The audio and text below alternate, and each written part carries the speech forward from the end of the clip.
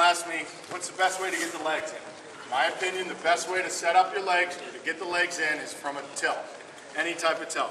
Two on one, tight waist, um, because it exposes them, bottom and top. I'll show you. TV position. Okay, if I got my tight waist going here, and he turns down, I can, yep, I'll just chill for a second. I can either throw a bottom boot down, or throw top boot in. Okay? So again, if you throw a right boot in and you tilt left side or right side, that's fine. Uh, e either one could go in. In this case, I like throwing in my left boot, so I'm going to go high. This hand, again, works as a flap. See my right arm? See my bottom arm, I should say? Flap that in. Grab the wrist. Now, just like a drawstring on a, on a bag, pull it tight. He's going to turn down. I'm not going to get backs here, but I got him tight. If you do this, what happens? He comes up, then he probably hips me down, and now we got a little bit of a scramble. All right? So to totally avoid that, you know, and boy, if you can, you know, lift the guy up, bring him back down, pull him tight waist, throw a boot in, figure four him over, you're, you're a pretty advanced wrestler. I didn't learn any of this in high school. I didn't know, I never tilted guys, never did legs. Um, I was a wrist half guy, and I was good at it, but I was pretty one-dimensional. So if you guys can get this down, you know, the, the thing about high school wrestling, even into co colleges, and it's across the board pretty much. When, when coach runs practice, what's the first thing you drill? Usually. Takedowns. Single, double, high crotch, duck unders, front headlock, over under, you know, uh, inside trip, foot sweep. All right, uh, going down, you know, 30 minutes in, your shirt's sweat, you're sweaty, you're getting tired.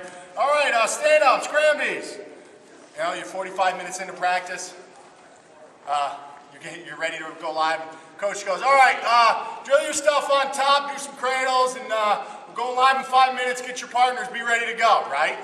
That's how we drill on top in America. It's Scholastic Wrestling. It's unbelievable right? And then, and then, what do you do when you're on top and drilling? You go, okay, yeah, I got you first, right? Yeah, uh-huh.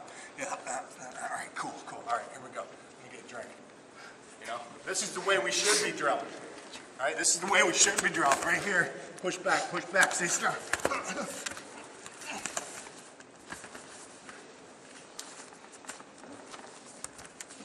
Bring your elbow up.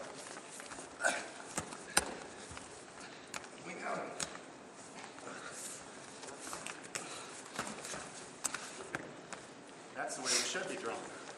We don't do it. Because it's too, too brutal on bottom to do it, and it's too boring on top to do it, right? And I'm the first one to admit it. When Coach Hellickson at Ohio State said, drill your stuff on top. And we did a little more drilling on top, because he was good on top. But for the most part, I was laying on top of my opponent, you know, talking smack to him about how I'm going to beat him in the first match. You know, or my uh, drill partner, right? Drill on top, sequences. Drill sequences on the feet, do it on top. So here it is, jam, he pushes back, turn my hands into handles, pull, tight waist, go to bring it over, he turns down, flap, catch, pull, boot. He turns all the way down, post my head, block again, left figure four, electrocute hits and ladle his head out. One more time.